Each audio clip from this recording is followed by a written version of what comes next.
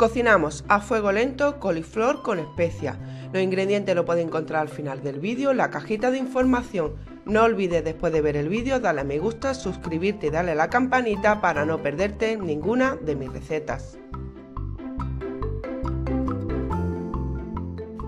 Lo primero que tenemos que hacer es de la parte de atrás, como estáis viendo ahora mismo en el vídeo, le vamos a quitar todas esas hojas verdes que no queremos. Con cuidado de no romper nuestra coliflor, porque tiene que estar entera. No la vamos ni a trocear ni nada. Esta, vamos, esta vez vamos a hacer la coliflor entera. En un vaso de la batidora o en un bol vamos a poner las especias. Va a poner el comino, el azúcar moreno, la cúrcuma, Vamos a poner también el pimentón dulce.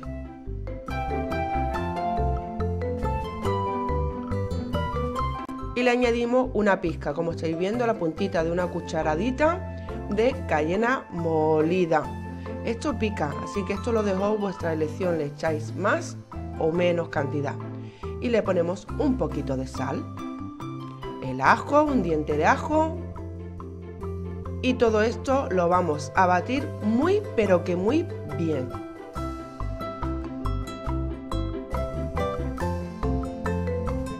Una vez que esté bien batido tiene que dar como una salsita. Ponéis la coliflor que como veis está entera en medio de nuestra olla de cocción lenta.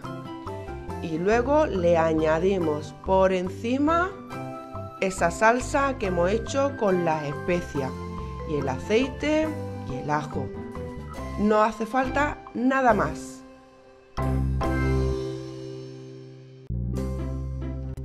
Le añadimos por encima orégano. Le ponéis bastante orégano por encima. Y ya lo único que queda es tapar con la tapadera, ponemos a temperatura alta y tres horas después ya lo tenemos listo.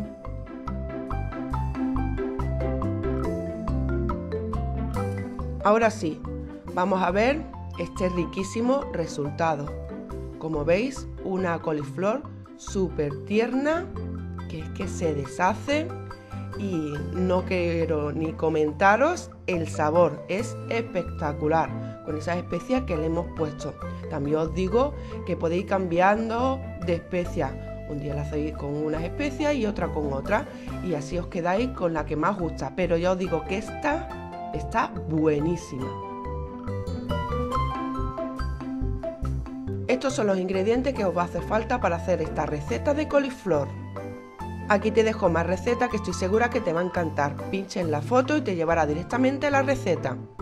Si quieres ver todos mis postres, aquí te dejo mi canal Postres Fáciles y Rápidos. Te van a sorprender. Pincha en la foto y te llevará directamente al canal. Y ya sabes, no olvides suscribirte a este canal para no perderte ninguna de mis recetas.